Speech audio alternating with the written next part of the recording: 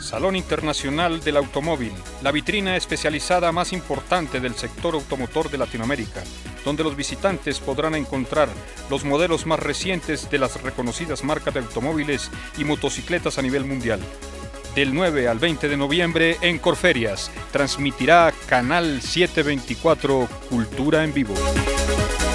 Aprovecho esta oportunidad para invitar a todos los colombianos a que vengan al Salón Internacional del Automóvil que se desarrollará entre el 9 y el 20 de noviembre próximo.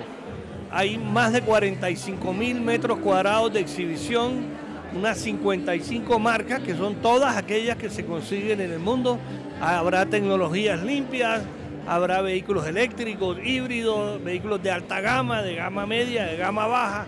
Y sin duda alguna la invitación que se hizo hoy por parte de FENALCO y por parte de los organizadores, pues es algo que hay que respaldarlo, que si alguien tiene intención de cambiar o comprar un vehículo, esta es la oportunidad, por las ofertas que hay y porque todas las marcas están esperando salvar su año con motivo del Salón del Automóvil y por eso no se van a guardar nada y todo se lo van a dar en favor del consumidor para tratar de conseguir pues unas buenas cifras de cierre de año 2016.